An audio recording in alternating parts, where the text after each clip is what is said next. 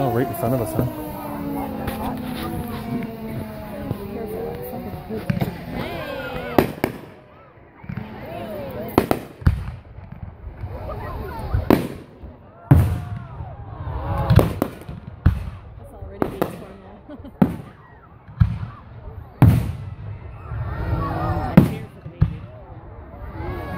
Peek every now and then.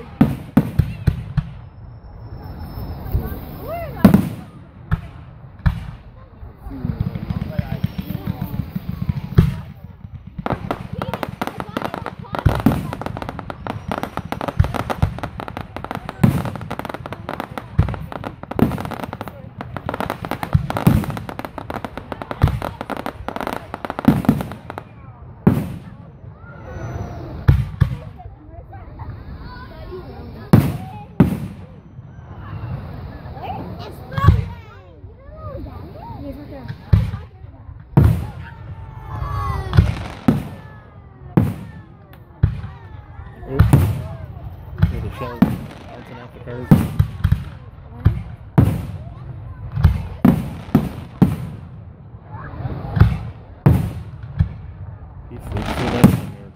Yeah. And all the kids screaming.